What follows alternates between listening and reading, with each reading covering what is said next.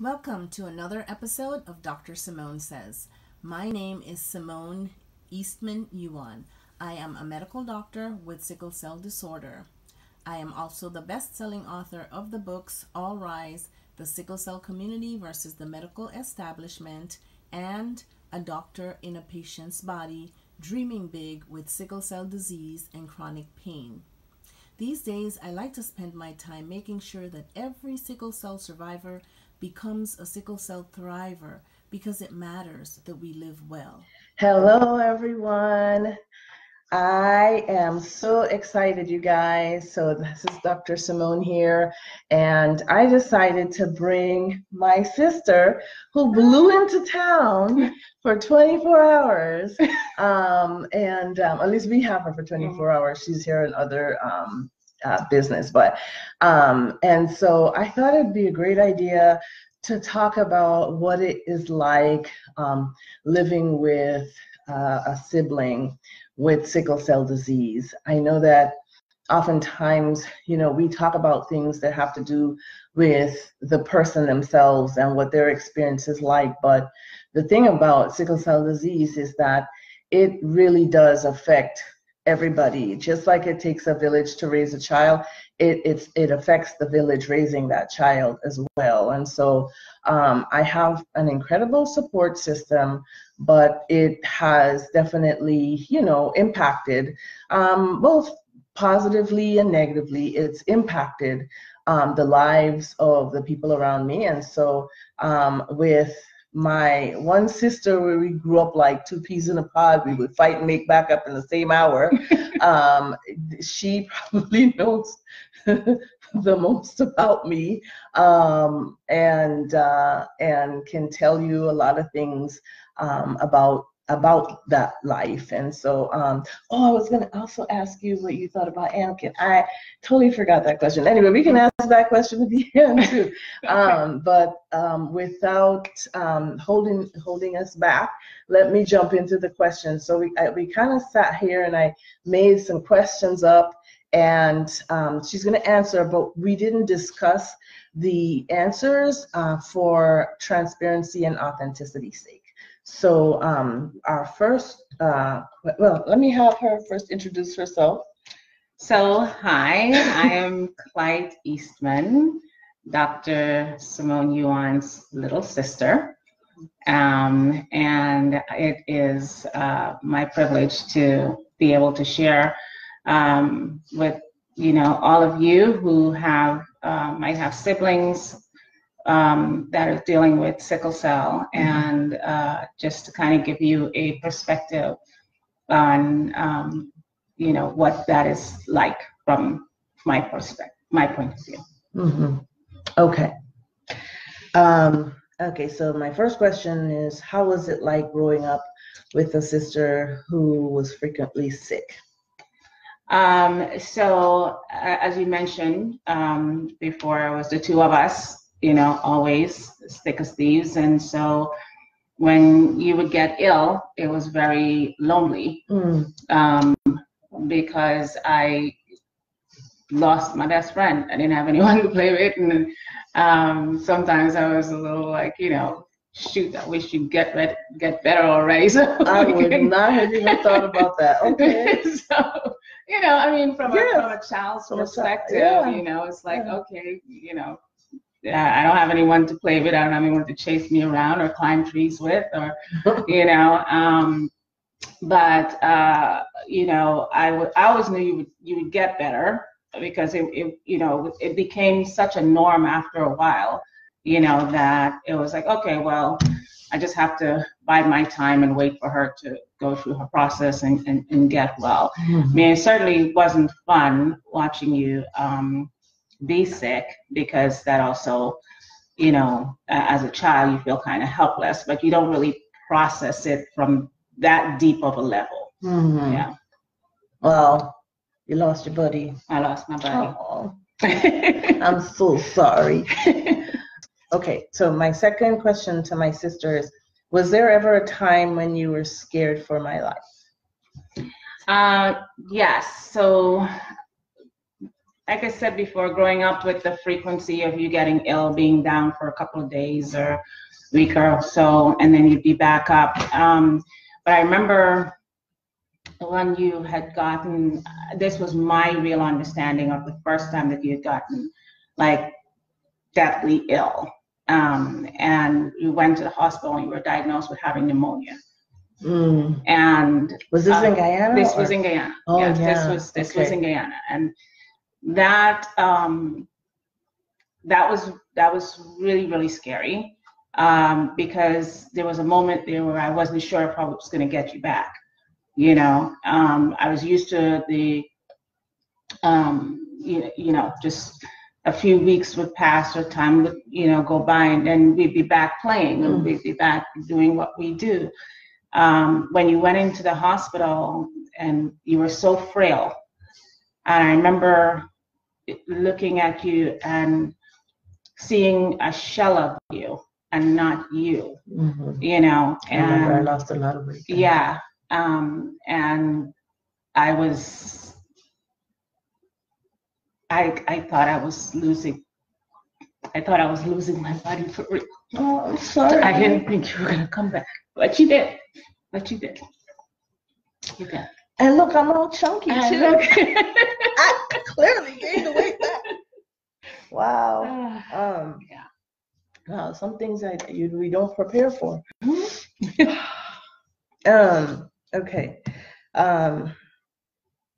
I was like 12 Yeah. I remember. Yeah. Gosh, that was that was scary. Uh, the the hardest part is just watching how you, you know you literally withered away, and you know. Yeah. That was that was tough. Um, what do you think the overall impact has been on the family? Um, I, I think that's an interesting question, right? Because if you're talking about the broader scope of our family, I think there's some who still are not quite connected to the reality mm. of what you experience. Yeah. Um, the immediate family, however, I think um, I, I think the, the impact has been one of of helplessness, of trying to uh, take this um, disease on a day by day basis because you can't you can't run but so far ahead because you don't know what's really coming. Um, it, it's not something you can plan for really. You just mm-hmm. have to do that day by day process. Yeah. Um, so I think it's it's just that level of uncertainty and you know angst of you know we made it through today. Are we gonna have a good day tomorrow as well? Are mm-hmm. we gonna mm-hmm. have a good day the following? Is this gonna be a good week?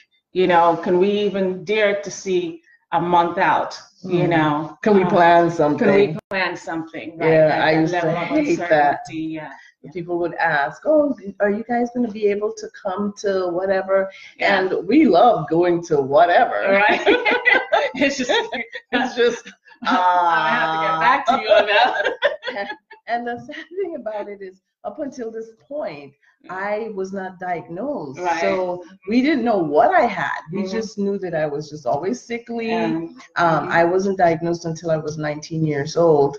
And um, and so the whole time you know we could we had nothing to even tell our friends like um okay she didn't make your party because you know so sometimes people you know could get offended and think oh she just didn't want to come to our party or yeah. she just didn't want to come hang out with us but they had no idea you know what we were dealing with at home. And right. then you know my sister would be having to like you know explain that sort of stuff. So it's um it, yeah. Um so, um, can you talk about a time when something medical was happening um, with me and we talked about it and how you felt about it? And we haven't talked about this stuff, so um, these questions or the answers. So, so there's a couple of of um, situations. Um, I know. Let me see here. I think. Um, there's there's a couple. So the one I will speak to, uh, which I think was most impactful for me, uh, was the hip replacement. Um, because I felt like uh, there were so many missteps. Now, let me just be completely clear and transparent. I am not a medical professional. I do not understand half of the terms my sister uses, but she is very patient in, in you know, explaining things out to me. And I, I do have a medical community around me that I can tap into if additional clarity is needed. Um, but there were so many areas of opportunities to, to, to put it as kindly as I possibly can um, for the physicians that were caring for her. And um, I was I was very upset because I feel on a daily basis, um, Simone is always dealing with so much. You know, she gets up and she faces the world and, you know, she doesn't complain. And you, you know, most times if you're talking to her on the phone or, you, you know, she would be encouraging you. And I just felt, you know, why would you not put everything in to make sure you get it right the first time? Um, and take away even one good day from her you know? So i i was very upset about that. And then i also was felt very helpless because we don't live very close to each other. So it's not a situation where i can run to the hospital mm-hmm. and advocate um, on your behalf mm-hmm. um, i know and again, uh, Simone's husband does a fantastic job of advocating on her behalf. But you know, when you're when you're at a distance and you hear these stories, um, you want to pitch in. You want to be able to jump in there and say, "Hey, no, this is not this is not a number on a chart. This is my sister. You know, I need you to be focused. I need you to pay attention. I need this to be as important to you as it is to me."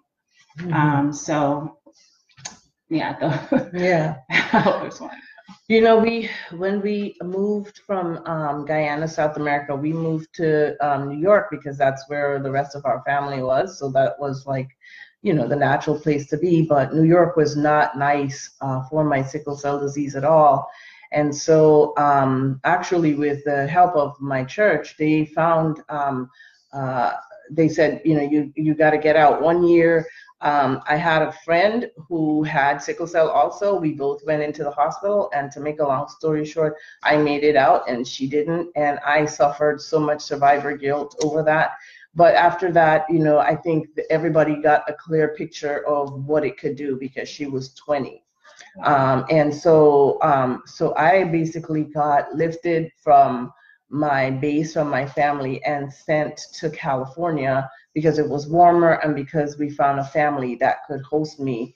Um, it was either Florida or California, and it just happened that California opened up at the time. So I ended up being in California and um, pretty much finishing out my schooling there and going to medical school um, in um, in Northern California, which I didn't realize was also cold, but that's another story. It wasn't as cold as New York, but I had to get out of there eventually. Um, but that's what she's talking about in terms of um, her being far away yeah. is that, you know, everybody got left in New York while, you know, there everyone was trying to save me by sending me away from New York. But you know, people were working, going to school, had how you know homes, so it wasn't like they could just you know just drop uh, all of that to move you know with me. So they were constantly on the phone with me when I was sick uh, in the hospital, you know, trying to make sure that I was okay. Um, so yeah, I, I could imagine. I could only imagine how you know I mean, I'm in the middle of it and I'm trying to just live. Yeah. But, you know, um, I could only imagine how frustrating it must be for watching a loved one. Um, because I know that with, with my husband, and maybe you could talk about him now, actually, um, and what you know of him, what you think. Yeah. Be honest. So there's always Ken. He's a character. AKA Annie, AKA the Grand Poobah. I know the Grand Poobah. He's had that name for years from her, the Grand Poobah. um, is probably the gentlest soul um, that you would ever have the privilege of, of meeting. And um, when Simone moved uh, away, that was one of the things that I, I worried about. I know she had a good host family and all of that, but um, I felt like I wasn't there because prior to her moving, you know, we spent a lot of times together when she was in school, and I would go to her dorm and make sure she was okay and you know yes. just help her through whatever i could whatever little i could do. Mm-hmm. um, when she moved i i no longer had that ability to do so. Um, and that was something that that worried me. It haunted me. Um, and so you know i just prayed that she would end up in loving and supportive hands. And she did you know um, Anakin, I, I, cannot imagine a more wonderful caregiver. You know, his his selfless capacity um, of putting others before himself, and and always making sure um, that you know my sister is is well cared for, um, has everything she needs. Um, it, it it if you're if you're gonna do this, if, if you have this life and you have a sibling um, with sickle cell, you watch them go through many phases. Mm-hmm. Um, and in your own way, you're going through it with them. Uh, if you're like me, you don't always vocalize because it's it's not about me. It's about my sister who has the sickle cell illness. Um, and so, in your mind, in your heart, in your spirit, you're always wanting a better day for them, you know, because you know that those are sometimes very infrequent. So, um, I say all that to say that I, I don't have that concern anymore about her being in good hands. I don't have that concern. I, I still worry about, you know, her getting sick and going into the hospital and all those aspects of it, which is a continuation of the process of mm-hmm. living with, you know, living with sickle cell. Can you tell she's like um, a little big sister? she's supposed to be younger. we're we're two years and eight months apart, yes. so she's two years and eight months younger. But I think once I think gosh, it it seems like it's it's always been that way. Where you know, once I you know got it you know sick often enough, she was just like mama bear, you know, and I could go back to being the big sister when I was you know stable yeah. and standing on two feet, but you know um, but the the minute that i i needed something you know and i i wrote about that in my my book um, um, uh, about you know, just her coming uh, to the dorms and like yanking me out the bed and you know saying you smell, go take a shower because I, I had a single cell quite that well, way. it was just the two of us, so you could tell me anything at that point. But um, we would throw me in the shower, and while I was in the shower, she would change my bed and go down the hall and do laundry, and you know, um, so you know, I, I look at that and I think, wow, you know, it, it really does have an impact on the people around you because you know there's so many people trying to keep your arms up mm-hmm. to, so many people trying to help you stay standing. And um, and you know i i for one don't want to forget those i can't forget those people in my life. So um all right. So what advice would you give other siblings out there living with their loved ones um, that have that has sickle cell disease? Um, hmm. to the siblings to the of siblings. those of the person with sickle cell disease. Yeah. Yeah. Um, so just to be real, um, I, I'm I'm gonna give you some advice, and I'm gonna be very transparent. This advice may work given the day and the experience that you're having. Um, I would say be patient. Um, don't waste time don't waste time because as Simone said when she went into the hospital, she made it out, her friend didn't.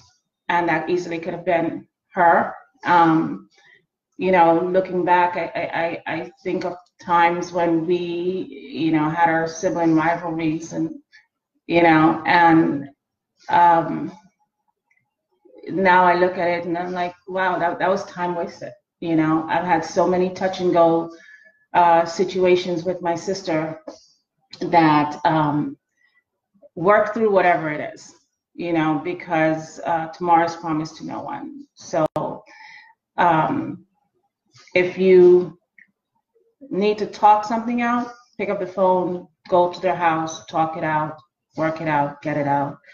Um, understand that this is not something that is controlled um, or controllable, rather by um, your sibling. And if they're having a bad day, you just have to be there and just be supportive the best way you can. Don't take it personal. You know, mm-hmm. don't don't take it personal. Um, because if they if they could answer the phone, they would answer the phone. If they could come to the event, they would come to the event. So um, understand that life moves at a different speed for someone with sickle cell. Um, and just love them, love them, you know. Thank you. Yeah, just Thank you for loving me too. Of course, I love All right, so somebody's asking a question. Do you notice a difference in care by the physicians from when she was not a physician to now when she is a physician? Um, here's the thing um, even when I became a physician, I didn't tell people I was a Yeah. physician. I was so scared of them judging me. I was so scared of them um, like finding out where I worked and telling them that I had been to the hospital and that I needed like whopping doses of narcotic medication to get better. Um, and you know, people have their um, prejudices about that and so i didn't want people sometimes people were understanding sometimes people just weren't and i wasn't willing to take that gamble Yeah. so unfortunately a lot of times um, they did not know um, that i was a physician and um, they just treated me like crap like Mhm. just treated me like everybody else Yeah. um, and then you know um, there but there were those times when i had incredible physicians too. And so i always um, try to talk about those because they are um, they are fewer. And so um, so um, when i could when things went really awry i would um, at the end of my stay when i was feeling better i would i would pull them aside and i would talk to them and i would tell them that I'm talking to them. I usually said this I said, I have two choices for you. I can either report you or I can educate you. Which one would you prefer? And of course, nobody wants to be reported. So inevitably, we ended up in a conversation.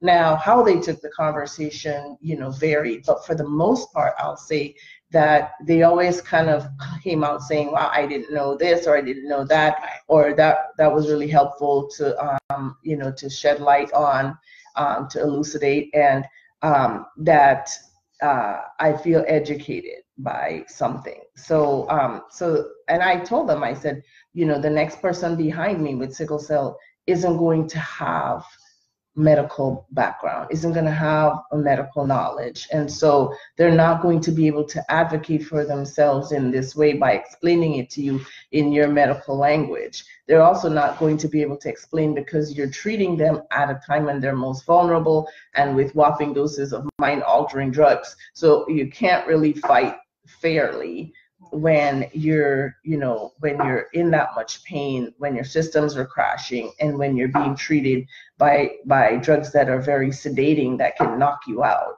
So um, I think I did my best to try to, you know, to educate once I disclosed that I was um, a physician, but for the most part, um, I I just watched and observed you know, because I always kept thinking my mom can't go to the ER and say that she's a physician. My sister can't go to the ER and say they're a physician. And so I want to see the kind of care that they are going to get. Um, I want to see the care that everybody else gets. Um, you know, but primarily it was honestly, primarily it was because I was afraid of letting them know who I was because I didn't want them going back to my job and making life difficult for me. Um, and so. I, I just want to say to add to that, that is something that I've feedback I've gotten from so many patients with chronic illnesses um, is always that fear of my job is going to find out and how it's going to, how are they going to look at me? How is it going to affect my ability to grow within the, the organization? You know, um, so I mean that's that's a normal um, that's a normal feeling.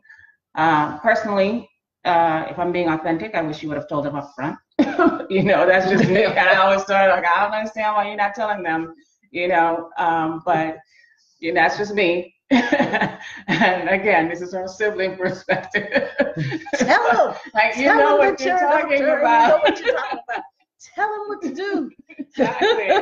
You know? That's what my family was always saying. They'd be so mad. Like, you're having a discussion with them, yeah. like report them. that's something. That's, I think when you're far away, it's, it's the defense mechanism. It's like, okay, I'm not there to fight the fight, you know. So how can I fight it through you? so, so sue them all. report them all. Um, and you know, a lot of them did, you know, things that were reportable, yeah. unfortunately. Um, but you know, when you're that sick, um, you're you're you're using your energy for, you know, for yourself, just to yeah. survive, just to make it through. So you're not, and that's why people get away with things, is because you often are just with enough energy just to make it through. So right. Yeah. I remember us talking to one time. You were saying that um, the community of, of doctors that um, treat you is so small that you didn't want to, you know, them to feel afraid of if they did anything or said anything that, you know, mm-hmm. so it, it would put at risk your chances of getting the treatment when you needed the treatment. Mm-hmm. So it's kind of like, okay, I'm going to take what you give me because if I if I make too much noise, then I yes. might not get anything at all. Yeah. Um, which yep. was another thing that made me, you know, very upset. Um, and uh, you know, it, and that's another thing. Like I was saying, as a sibling, you know, you go through these things and you're trying to process them you don't have the illness and a lot of it doesn't always make sense to you. Um, and you know you, you're, you're doing the best you can like okay no please you know this is this is what needs to be done.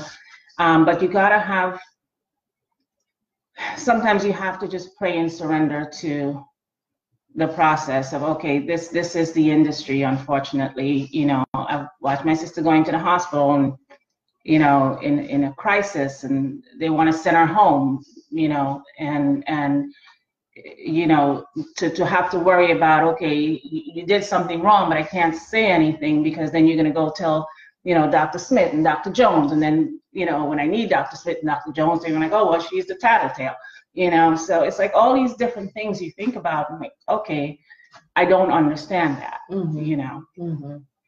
Yeah. It's, um, you count the cost. Yes, yes. You, count, the, cost, cost yes. of frequently. Yeah, of frequently. reporting, and and um, and then what type do each of you have? Um, are you talking about like if she has a trait? I have. Um, I don't know what.